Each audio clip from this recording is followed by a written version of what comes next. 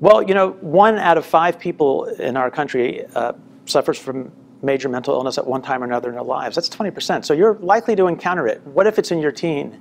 Um, the most common mental illnesses that we see in teenagers are depression and anxiety disorders. Uh, the signs there, uh, boys and girls tend to differ. Boys tend to start to act out and they have behavioral problems.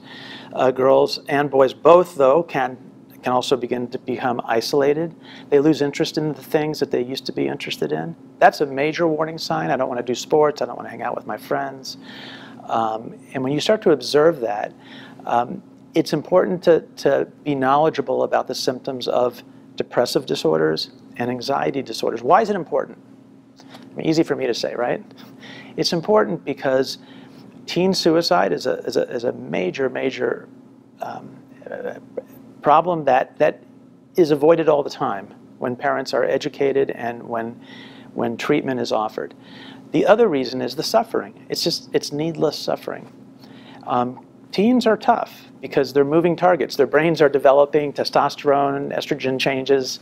Um, it's all about starting to ask the questions and, and becoming knowledgeable about what the signs and symptoms are.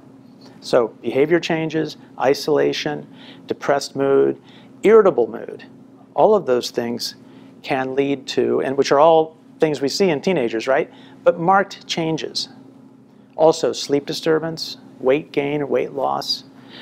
Uh, grades is a big one. Grades plummet suddenly, and there's no obvious reason why.